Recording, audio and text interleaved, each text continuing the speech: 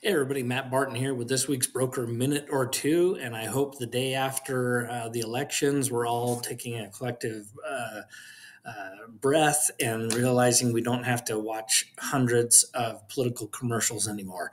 That's the good news of the day. Hey, so um, I get uh, feedback from the office managers on a pretty regular basis, and um, one of the office managers had a list of things. I'm going to use it as the basis for my quick broker minute or two today.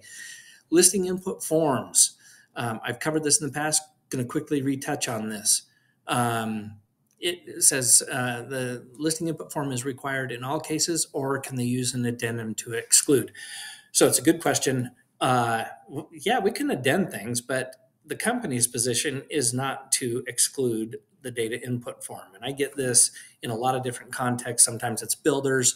Um, the reason for it is simply this if we don't have a data input form that specifies square footage and acreage and features of the home what's included and what's not excluded, in the course of us marketing the property, we're going to have to come up with that information. And barring a paper trail, you know, that shows that the seller originated that information, then we become the originator of the data. And we've had two lawsuits over the past couple of years specifically tied to this. And so it is a big deal. The company policy will always be to have a listing input form. Listen, if you represent a builder and they build three different models, then get a listing input for the three different models and, you know, essentially rubber stamp that and include it or include a copy of the um, MLS printout with the property information signed off by the seller saying, yes, I approve this information. But we need to have a paper trail. Second one, acceptance, acceptance date and time deadline on documents required to be filled out. Yeah, so this is an important thing. Um,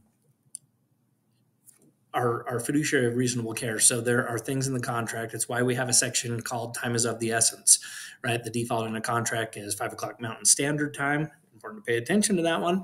Um, and so, yes, we need to have, I mean, if somebody's do a hand signature, they should write in the date and time that they're signing it.